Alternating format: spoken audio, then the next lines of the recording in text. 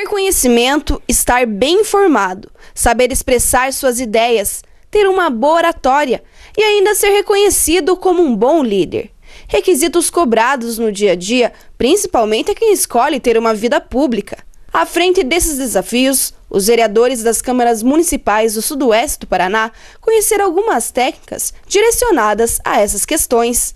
O treinamento de comunicação, oratória e liderança aconteceu no auditório da ANSOP.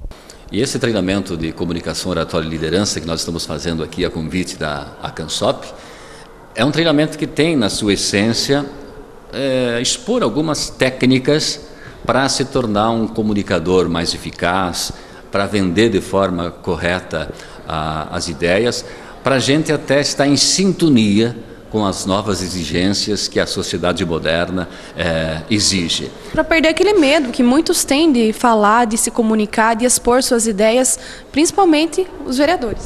Como é que ele vai usar a tribuna na Câmara, como é que ele vai se comunicar com a população de um modo geral.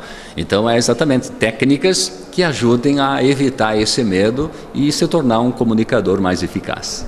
E além de todo esse conhecimento, tem toda essa prática aí. Claro, o, o nosso treinamento, na verdade, ele é muito mais prático do que teórico. É claro que nós temos aqui relativamente pouco tempo para fazer esse treinamento, é, então, claro, esse é um treinamento é, de certa forma parcial, mas que deve chamar a atenção do vereador para que ele possa se situar qual que é a habilidade, em que momento que ele está é, no que diz respeito à sua qualificação para se comunicar adequadamente.